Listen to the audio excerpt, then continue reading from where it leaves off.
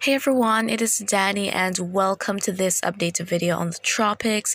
And so I hope that you're all doing really great thus far today. And so uh, we'll be talking about the various systems that are noted across the Atlantic basin. So we have uh, Hurricane Martin, Tropical Storm Lisa, and two disturbances. And so uh, as we're going to be heading into the next several days, uh, we could see the formation of yet another tropical cyclone. And so before I go into details, Please do subscribe and tap the notification bell so that you never miss an important update. And to show support for the channel, you can leave a like on this video.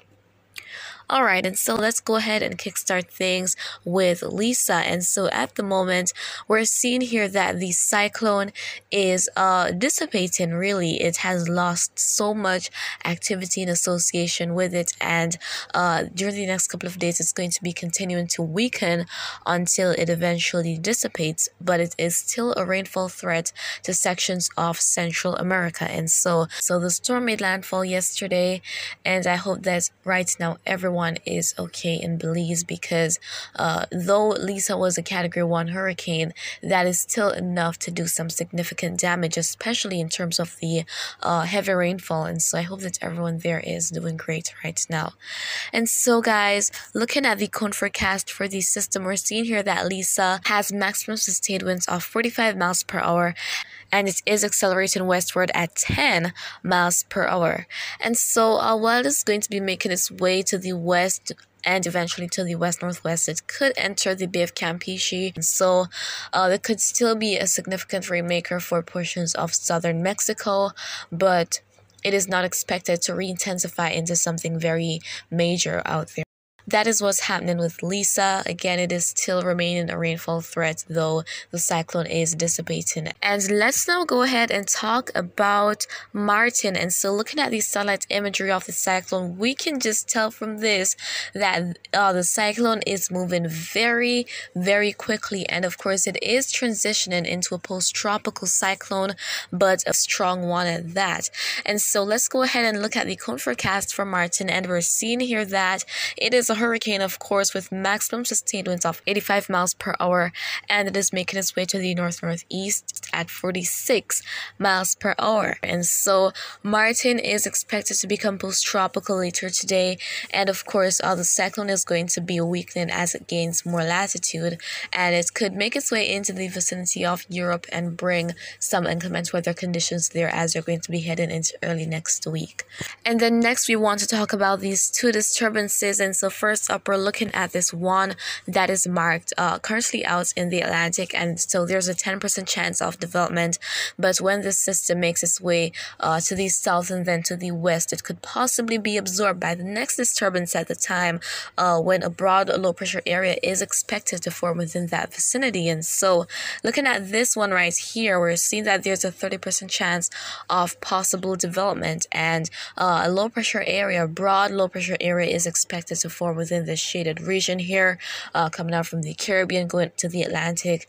And uh, with the formation of that low pressure area, it is likely that there will be an increase in moisture within the region, which means there's a, uh, more of a probability of rainfall. So let's see what's going to be happening as we progress into the end of this week, go into early next week. And so, guys, now let's go ahead and take a look at what the various model runs are expecting as we're going to be heading into the next couple of days. And so we'll be looking at the GF GFS and the euro. And so uh, this is a map showing the humidity and uh, where we have more humid where we have more humid or moist conditions, that is where we're more to find uh, development of tropical cyclones. And so that is indicated by the different shades of teal. And then the browns indicate dry, stable conditions. And so that is something that tropical cyclones definitely hate. So let's go ahead and see what the GFS is expecting. And next, we're looking for those black lines called isobars. And isobars are lines of equal pressure. And so when we see them in a circular manner with the pressure being at least below 1030 13 millibars. Uh, that is a low pressure system. And when you see them more compact and they're more abundant, that indicates a stronger system. And so let's go ahead and see what GFS is expecting. And so GFS is expecting that we're going to be having all that increase in moisture across the eastern Caribbean as that broad low pressure area develops while headed to Florida. And then another low pressure area behind it. And then eventually GFS shows the system loitering a bit across the eastern Gulf of Mexico. And we're not seeing where GFS is expecting a strong system here. So, uh, even if we do have development, maybe the system will be a weak tropical or subtropical cyclone at the most. And then looking at the euro now, so euro is expecting that we're going to definitely be having that broad low pressure area developing, but the model isn't showing too much happening for it. However, we see where we have all that moisture crossing into the Gulf of Mexico, and we see maybe a weak tropical storm there, but the system just succumbs to the dry environment around it. So here we have these two two models here expecting that uh, the system will be making its way into the eastern Gulf of Mexico at some point. But of course, this is not solid, this is not guaranteed. I mean, that low pressure area has not even developed as yet. So uh, there is so much that can take place between now and the next several days as you're going to be heading into next week. And by the way, uh, this is for the end of next week, thereabout, for the euro when the system is expected to make its way into the Gulf of Mexico. So quite interesting here here, both of these models are agreeing that uh, this is going to be what will happen with the system. Fortunately, they're not showing anything too strong out there. And so, guys, let's also go ahead and take a look at the simulated satellite imagery. So this is what the satellite could potentially look like as we head into the next couple of days. And this is from the GFS.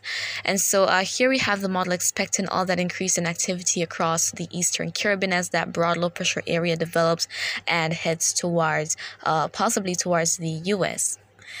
And so uh, this is not solid. As I said, there can be many changes because it is the weather we're talking about here, and there have been many changes. So only time will tell what is really going to be happening as we progress into the next several days.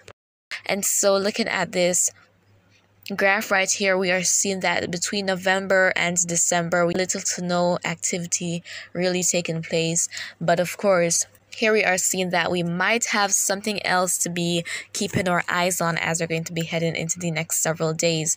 And so the next name to be used for this Atlantic hurricane season is Nicole. So let us see if uh, we're going to be having that disturbance developing as it is going to be heading from the Caribbean going to the Atlantic, possibly to the US. Uh, but of course, as I said, nothing is guaranteed at this point in time because that low pressure area has not yet even developed and there can be so many changes because we're talking about the weather and many changes are inevitable. And so that is what is on the horizon for now, guys. And uh, again, we have Elisa, which is a dissipating tropical cyclone. We also have Hurricane Martin, which is expected to become post tropical as we're going to be heading into later today. And so I will keep you guys updated as time goes by. And that is really it for now. So if you have any questions, you can leave them down in the comments and you can also share your thoughts there. And of course, remember to always be weatherwise.